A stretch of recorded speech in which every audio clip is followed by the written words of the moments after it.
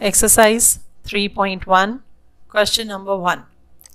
First question in which he said, in the matrix A, आपके पास A एक matrix given है in which the first row is 2, 5, 19, minus 7. Second row is 35, minus 2, 5 by 2 and 12. Third row is under root 3, 1, minus 5, 17. He said write the order of matrix. पहले part में उसने आपसे पूछा है कि ऑर्डर ऑफ़ मैट्रिक्स बताना है। तो ऑर्डर ऑफ़ मैट्रिक्स क्या था? That is the number of rows into number of columns तो रोज हमारे पास क्या होती थी? हॉरिजॉन्टल लाइंस तो आपके पास ये हैं रोज देखो। R one this is R two and R three तो कितनी रोज हो गई आपके पास? थ्री तो that means three rows into how many columns are there तो ये आपके पास होते थे columns C one C two C three and C four जो वर्टिकल लाइंस होती हैं, वो होते हैं कॉलम्स तो चार कॉलम्स आपके पास हैं. तो ऑर्डर क्या हो गया आपके पास? थ्री क्रॉस फोर पहले आता है नंबर ऑफ़ रोज फिर आता है नंबर ऑफ़ कॉलम्स तो order is three cross four second part में वो आपसे क्या पूछ रहा है? नंबर ऑफ़ एलिमेंट्स तो अगर हम नंबर ऑफ़ एलिमेंट्स की बात करें तो नंबर ऑफ़ एलिमेंट्स हम काउंट नहीं करते कि वन टू थ्री फोर कितने हैं। हम जो ऑर्डर आपके पास आया है, उसमें नंबर ऑफ़ रोज और नंबर ऑफ़ कॉलम्स को मल्टीप्लाई कर देते हैं। तो three into four that means three four ज़ा ट्वेल्व तो नंबर ऑफ़ एलिमेंट्स कितने हो जाएँगे? ट्वेल्व थर्ड पार्ट आपके पास है जिसमें उसने आपसे एलिमेंट्स पूछे हैं कि ए वन थ्री पोजिशन पर कौन सा एलिमेंट है। तो वन थ्री का मतलब क्या हुआ? फ़र्स्ट रो थर्ड कॉलम तो फ़र्स्ट रो और थर्ड कॉलम तो उसकी अगर हम बात करें तो आपके पास देखो फ़र्स्ट रो और थर्ड कॉलम तो ये आपके पास है ए वन थ्री तो आपके पास एलिमेंट क्या आ गया? दैट इज़ नाइनटीन सेकेंड उसने आपसे पूछा ए टू वन अब ए टू वन का मतलब क्या है आपके पास? That is second row first column तो सेकेंड रो और फ़र्स्ट कॉलम तो ये आपके पास क्या हो गया? ए टू वन तो आपके पास एलिमेंट ए टू वन कितना आ गया? थर्टी फाइव थर्ड उसने आपसे पूछा है A three three A three three का मतलब आपके पास क्या हुआ? यहाँ पर थर्ड रो थर्ड कॉलम तो थर्ड रो और थर्ड कॉलम की बात करें तो आपके पास ये आ रहा है minus five that is A three three तो ए थ्री थ्री आपके पास क्या हो गया यहाँ से? माइनस फाइव अगला एलिमेंट उसने आपसे पूछा है ए टू फोर अब ए टू फोर का मतलब आपके पास क्या होगा यहाँ से? Second row fourth column second row one two three four fourth column तो ये आपके पास आ जाएगा ए टू फोर। तो ये आपके पास कितना आ गया?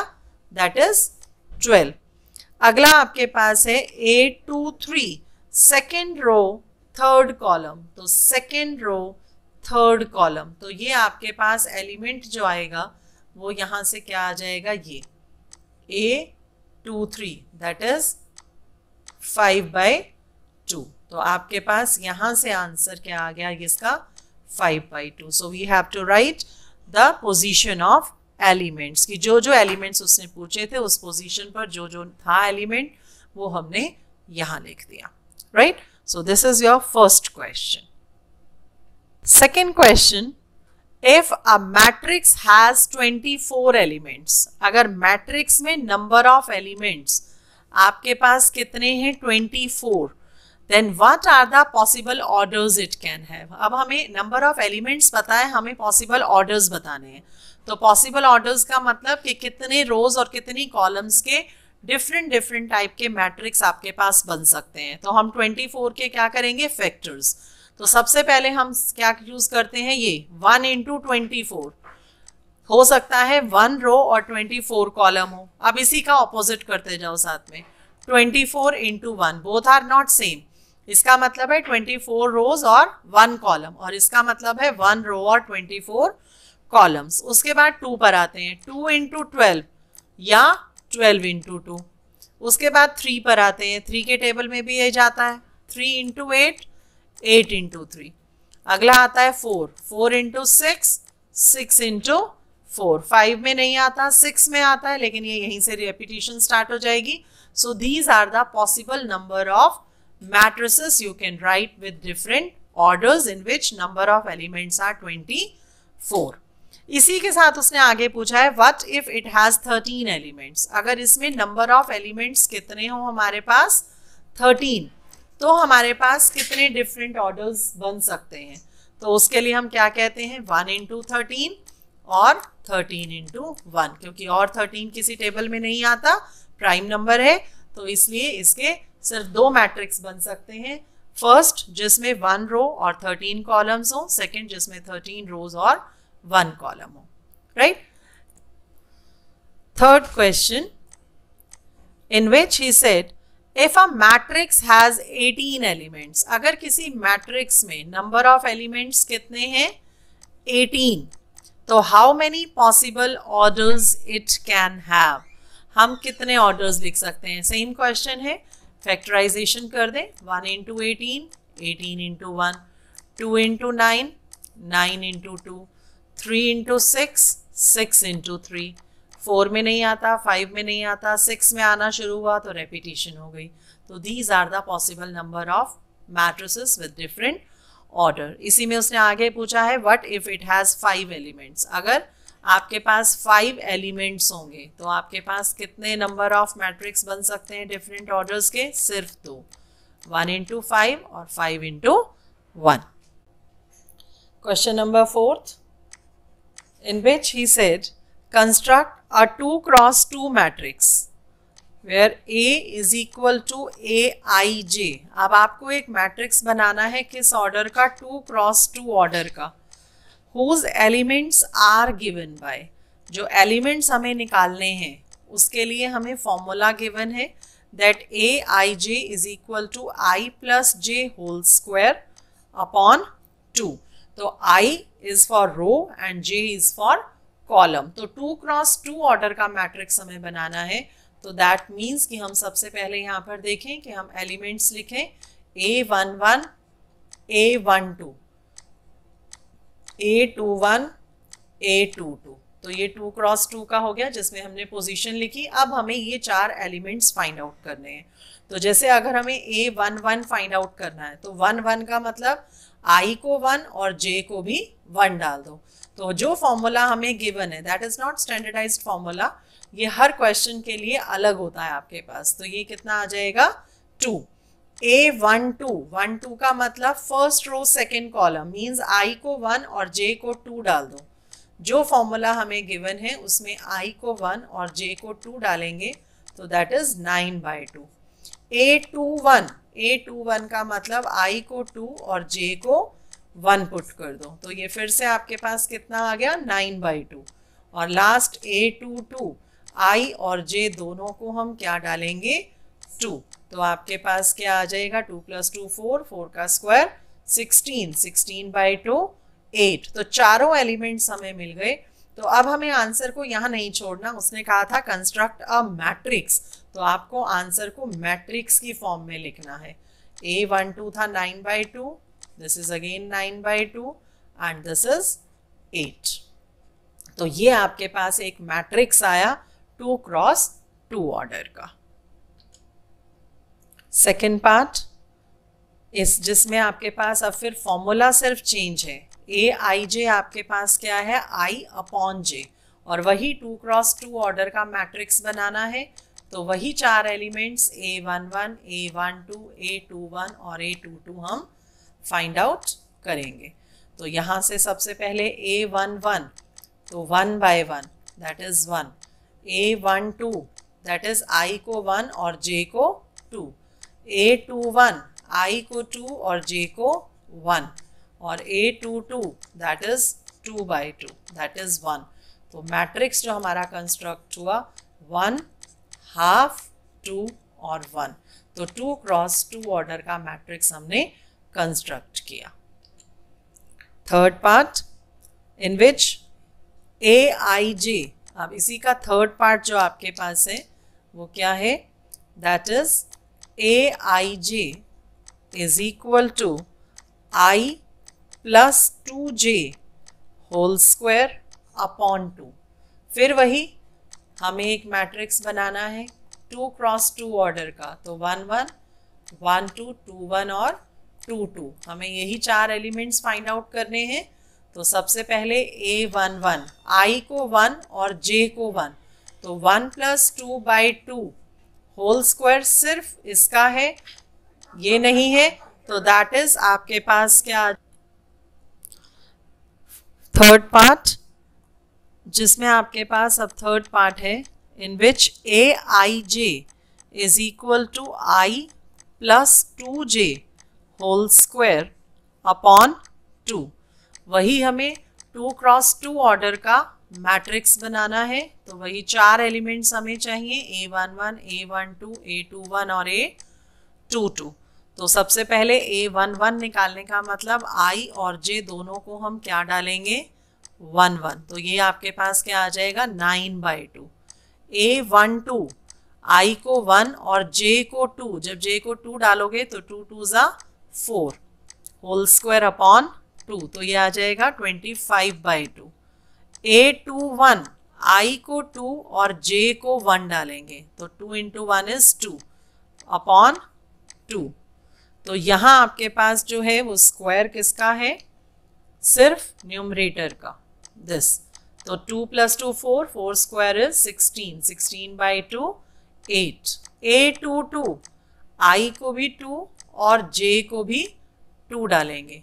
होल स्क्वायर अपॉन टू तो ये आपके पास आ जाएगा thirty six by two that is eighteen तो चारों एलिमेंट्स को हम यहाँ पुट करेंगे, उनकी पोजीशन के according that is A one two A two one और A two two so this is a matrix of order 2 cross 2 question number 5th first part Construct a 3 cross 4 matrix whose elements are given by, आपके पास A I J given है half of of minus three I plus J and you want to construct a matrix of order three cross four तो सबसे पहले three cross four order का हम एक matrix suppose करेंगे. तो A one one A one two A13, A14, A21, 22, A23, A24 and A31, A32, A33 and A34. Now we have to find these 12 elements. तो 12 elements निकालने के लिए सबसे पहले A11 I को 1 और J को 1 पुट करेंगे तो निकलेगा A one one minus three plus one that is minus two by two but mod है तो वो नेगेटिव को पॉजिटिव कर देगा. That is one A one two A one two का मतलब आप आई को वन डालोगे और जे को टू तो ये आएगा माइनस हाफ़ तो ये क्या हो जाएगा? Half similarly you have to find A one three half of minus three plus three आपके पास क्या हो जाएगा ये? Zero right so similarly you have to find all other elements right and now put all these values all these elements you have to put in a matrix तो position के according हम elements लिखेंगे. A one one A one two A one three A one four similarly A two one A two two A two three and A two four that is A31, A32, A33 and A34. So we have to construct a matrix of order 3 cross 4 where Aij is equal to half of mod minus 3i plus j, right?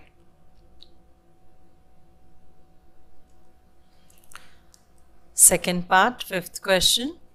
That is again same, you have to construct a matrix of order 3 cross 4 J is equal to two I minus J तो फिर से हम वही ए matrix जिसमें हम twelve elements निकालने हैं, वो लिखेंगे।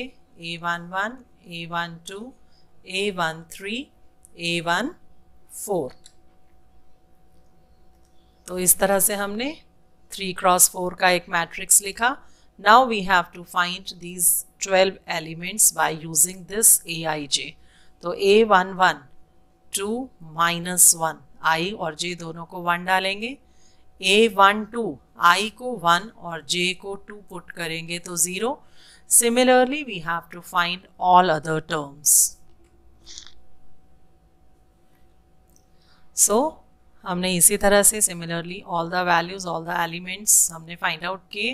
And now put all these elements in matrix form तो पोजीशन के अकॉर्डिंग हमने उनकी वैल्यू डाली मैट्रिक्स फॉर्म में and then we we get a matrix of order three cross four that is your answer clear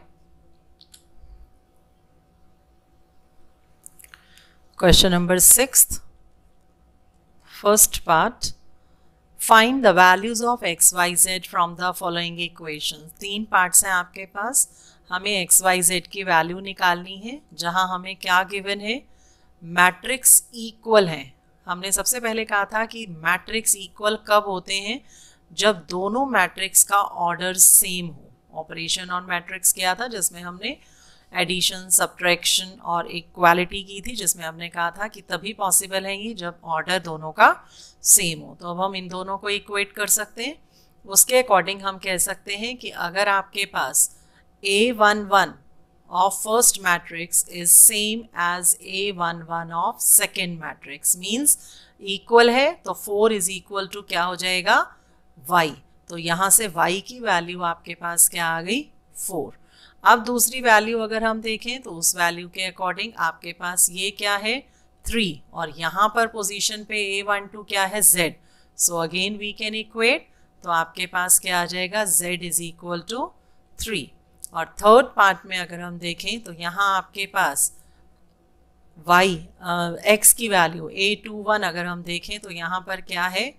x और यहाँ पर क्या है? One so when we have to equate it we get x is equal to one और ये five आपका इस five से इक्वेट हो रहा है। तो that means our answer is correct कई बार इक्वेट नहीं होती वैल्यूज़ तो उसमें हम कहते हैं नो सॉल्यूशन कि नॉट पॉसिबल वो पॉसिबल नहीं है केस सेकेंड पार्ट में आपके पास देखो फिर से यही है। That is X plus Y two this is five plus Z X Y and that is equal to that is six two five eight फिर से इक्वेट करें तो आपके पास आ जाएगा x plus Y equal to six two is equal to two that means ठीक चल रहा है हमारा। Five plus Z is equal to five and X Y is equal to eight तो यहाँ से तो z की वैल्यू डायरेक्टली आ गई ज़ीरो अब हमें x और y की वैल्यू निकालनी है।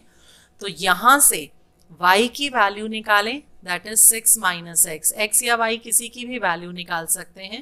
And put Y in X Y equal to eight इसमें पुट करें तो एक्स वाई की जगह आ जाएगा six minus X equal to eight तो six X minus X square is equal to eight तो X square minus six X plus eight is zero ये आ रहा है आपके पास। यहाँ से अब हम इसको सॉल्व करेंगे। तो फैक्टर्स बन रहे हैं।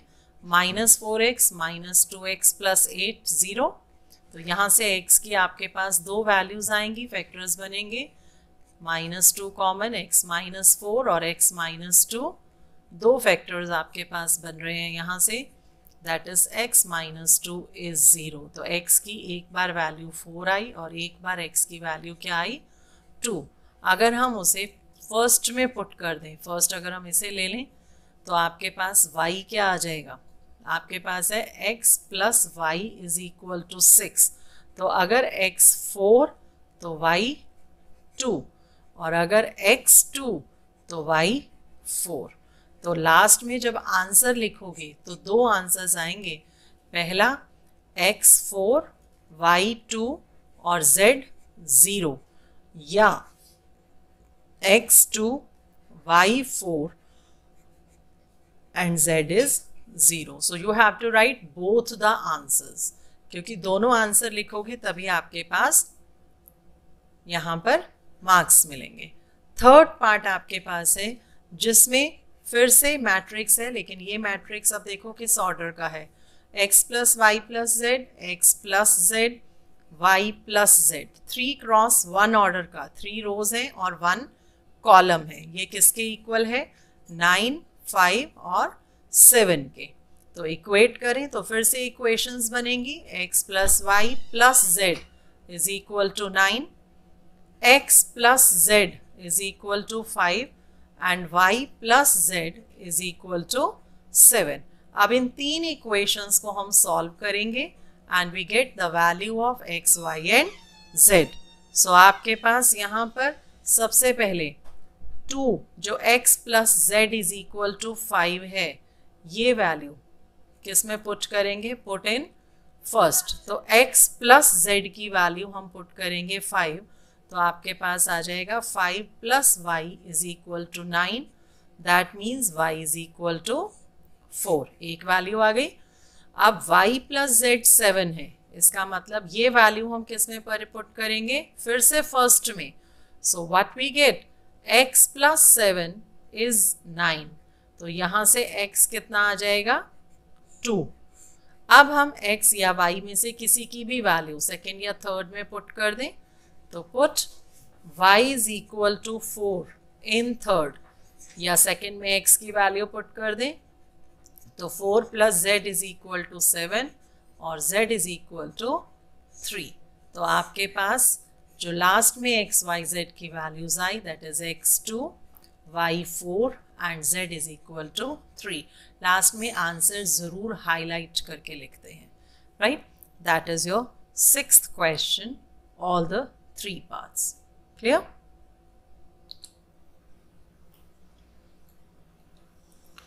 question number seventh